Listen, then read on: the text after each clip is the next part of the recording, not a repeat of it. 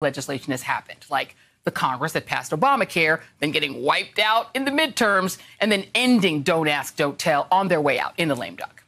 Well, now tonight on the ReidOut, we're launching a new segment to document what lame duck Trump and his Republican lemmings are doing on their way out the door. And because you know nothing good is going to come of that, we're calling it What the Duck? A hallmark of the Trump presidency has been the absolute silence of Republicans as Trump took a blowtorch to norms, decency, and democracy. They had no problem with his foul language. They're pursuing an illegal, invalid, and unconstitutional impeachment. We first went through Russia, Russia, Russia. It was all. It was made up. It was made up just like the Russia, Russia, Russia was made up. This is the craziest thing done by AOC plus three, who knows nothing about the environment. She doesn't know. She's got a great line of. You didn't hear them object much when he hurled racist, misogynistic, and anti American labels at Democrats.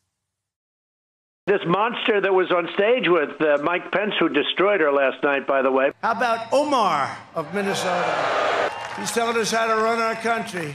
How did you do where you came from? How is your country doing? The do nothing Democrats have betrayed our country. The radical Democrats want to destroy America as we know it.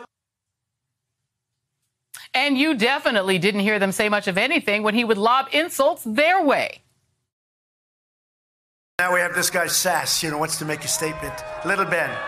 Little Ben says. I mean, one of the problems with Ted Cruz is everybody hates him. I mean, he's such a nasty guy. I could have said, Mitt, drop to your knees. He would have dropped to his knees. A little, L I D D L E, little, little, little Marco. You know, we, we have to, you have to brand people a certain way when they're your opponents. You know, these little Republicans haven't exactly been profiles in courage, or really said much at all until after Trump lost. Well, as the sun sets on Trump's virulent and vulgarian presidency, barrel clutching Republicans are suddenly finding their voices. Is it that Trump caged babies? Oh, no, no, no. Is it that he's lied to us about the coronavirus? No. Is it that millions are hungry and on the brink of homelessness? Nope. Hey there, I'm Chris Hayes from MSNBC. Thanks for watching MSNBC on YouTube. If you want to keep up to date with the videos we're putting out, you can click subscribe just below me or click over on this list to see lots of other great videos.